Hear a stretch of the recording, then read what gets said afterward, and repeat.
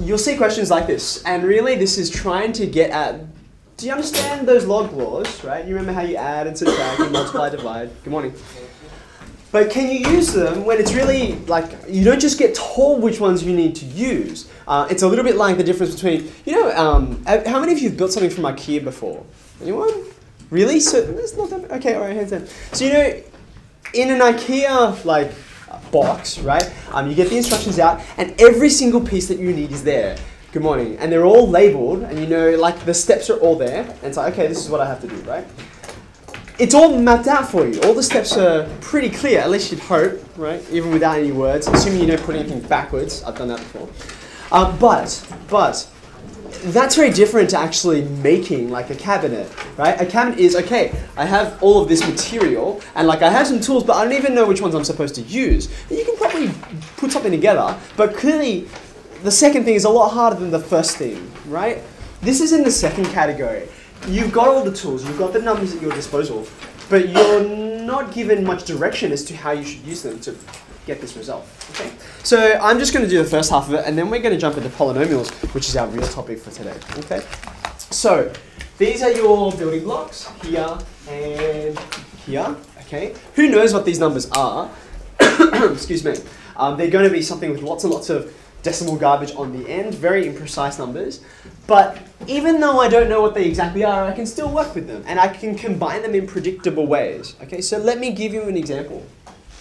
You see how um, this number here is going to be um, bigger than this number over here. Right? This is like how long do I take to grow to this versus how long do I take to grow to this. Okay? So therefore, it stands to reason something I could do is have a big number and take away a small number.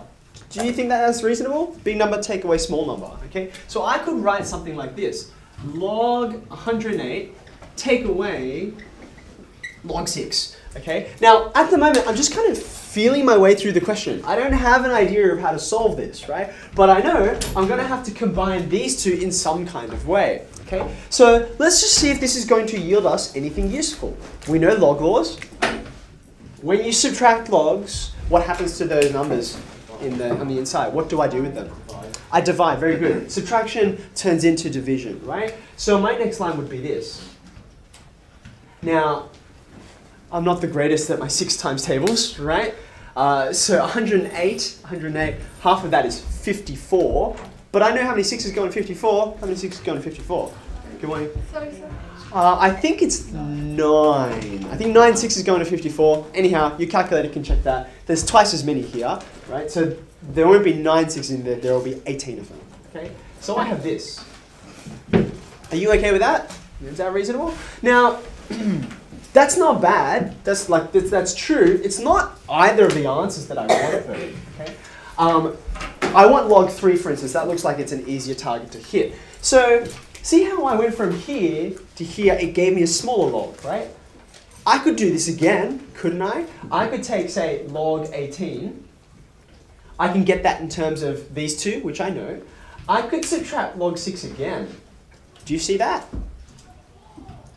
If I subtract, I'm going to do another division. You can probably do this one in your head, right? What's the division going to be when you do 18 divided by 6?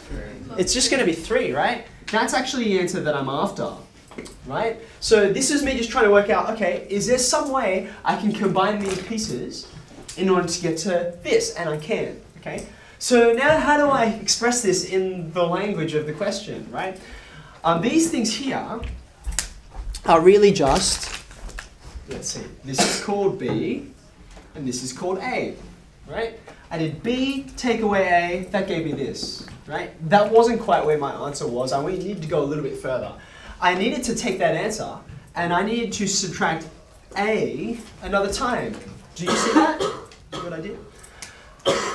Therefore, okay, what I can do is, in summary, what I've done is I started with B, and then I subtracted A twice. That's 2a.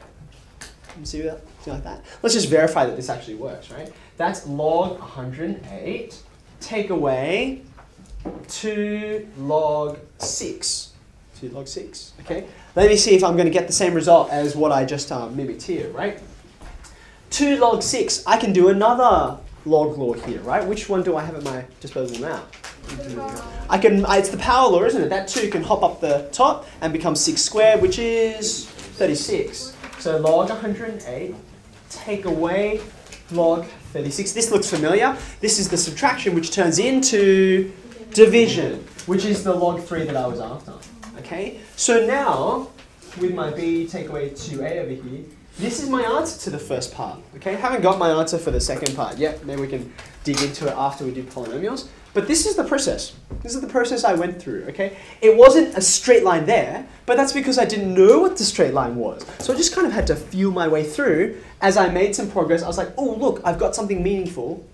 Now let's translate that in terms of the question, okay? So the reason why, like I could have just gone here. I could have said, hey everyone, let's do b take away 2a. But there's no obvious reason why you would do that at first, unless you know exactly what you're doing. Most of us are not in that category. We're in this category up here, where you're kind of like, I'm not sure. I'm just going to try things. I'm just going to, um, as they say colloquially, throw things against the wall and see what sticks, right? And some of the things worked, they made some progress, okay? So this is the way I would approach questions like this. You got your building blocks, just play with them a little bit and see how they can fit together, okay?